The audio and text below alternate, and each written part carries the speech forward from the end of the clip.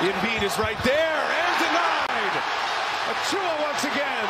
Siakam to Achiuwa and a hard foul by Niang. Free throws for Precious Achiuwa. Harden dribbled out virtually the entire shot clock that time before.